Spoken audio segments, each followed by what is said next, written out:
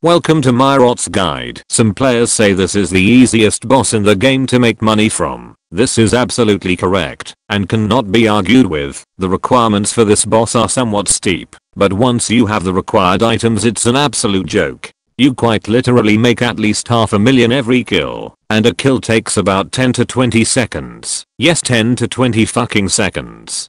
Unless, Ahrim decides to play God or that he thinks he is funny sitting on a fucking rock. Just get down you Harry Potter ripoff. Now if you watch Muncle's Donkey you might think 20 second kills at 500k is the best money in the game. Well guess what? To start a new kill you need to play Temple Run RuneScape Edition. Which shows people's true colors. Honestly if you want to find out if someone is your friend or not, just do rots with them. If they take the middle bridge every time, you know they're a dick.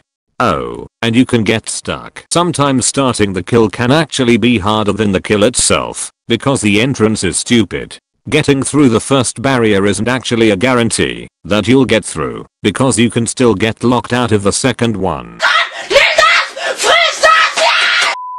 So what's ROTS actually like when learning? You get stabbed, you are electrocuted, you occasionally get bombed, and perhaps worst of all, Beybladed to death.